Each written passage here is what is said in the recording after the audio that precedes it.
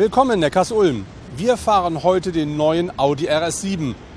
4 Liter TFSI-Motor mit 560 PS, 700 Newtonmeter. Das heißt 3,9 Sekunden im Sprint von 0 auf 100. Wir freuen uns darauf. Audis Fantasie sind auch in der RS-Familie keine Grenzen gesetzt. So lassen die Ingolstädter ihrem Power-Kombi, dem RS6 Avant, jetzt den schärfsten Vertreter der A7-Reihe folgen. Ein nobles Coupé mit fünf Türen, Komfort ohne Ende und bestückt mit dem starken Herzen des fliegenden Avant.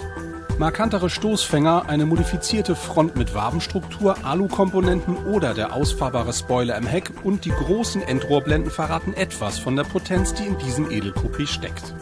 Und die beginnt bereits im Innenraum. Hier wurde in Sachen Komfort noch einmal nachgelegt.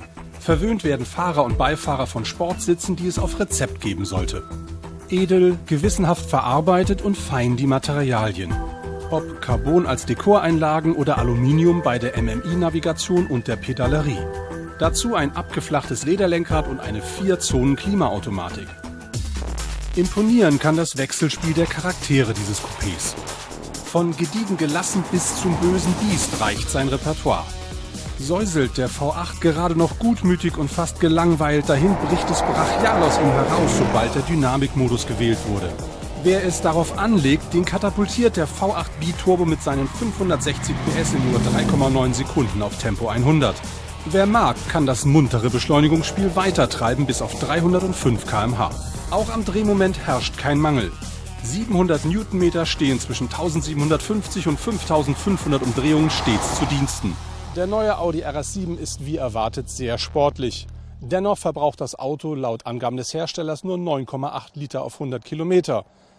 Dies liegt unter anderem an konsequentem Leichtbau und modernster Motorentechnologie inklusive Zylinderabschaltung. Hinzu kommt eine 8-Stufen-Automatik, bei der die ersten sieben Gänge besonders kurz und straff ausgelegt sind, was dem sportlichen Fahren zugutekommt.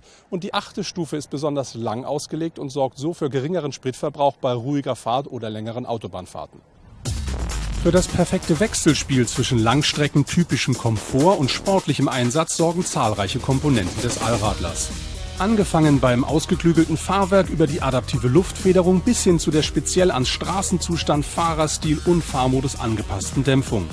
Eine besondere Raffinesse ist das alternative Sportfahrwerk Plus mit Dynamic Ride Control. Hierbei sind die einstellbaren Dämpfer diagonal über Ölleitungen miteinander verbunden. Ein Zentralventil reguliert den Ölstrom und unterdrückt so die Wankbewegung bei Kurvenfahrt und das Nickverhalten beim Bremsen. Auf das Kraftpaket perfekt abgestimmt ist auch die Lenkung. Egal ob serienmäßig elektromechanisch oder auf Wunsch als Dynamiklenkung mit variabler, stufenloser Unterstützung. Der Maßanzug passt.